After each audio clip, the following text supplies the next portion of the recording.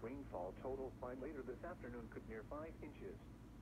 Some locations that may experience flooding include but are not limited to Hickory, Statesville, Lenoir, Newton, Taylorsville, Mooresville, St. Stephen's, Conover, Longview, and Sawmills. Remember, most flood deaths occur in vehicles. Do not attempt to cross water-covered roadways, bridges, or low-level crossings. Only a few inches of rapidly flowing water can carry away your vehicle. It is not worth the risk. Please turn around. Don't drown. The National Weather Service in Greenville, Spartanburg has issued a flood warning for northwestern Rutherford County in western North Carolina, eastern Henderson County in western North Carolina, western Polk County in western North Carolina, southeastern Buncombe County in western North Carolina until 3.30 p.m. Eastern Daylight Time.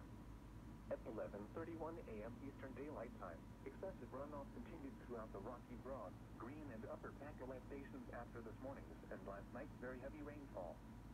Many rivers, streams, and creeks in these areas will take much of the afternoon to return to within their banks.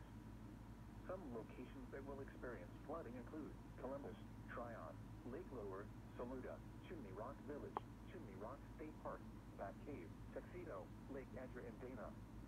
Only when it is safe to do so, please report floodwaters or landslides flowing over roads or threatening property to the National Weather Service by calling toll-free 1-800-267-8101 by posting on our Facebook page or via Twitter using hashtag NWSGSP. Your message should describe the event and the specific location where it occurred, including roadways, nearby cross streets, stream names, and other landmarks. A tropical storm warning remains in effect for the following areas in South Carolina.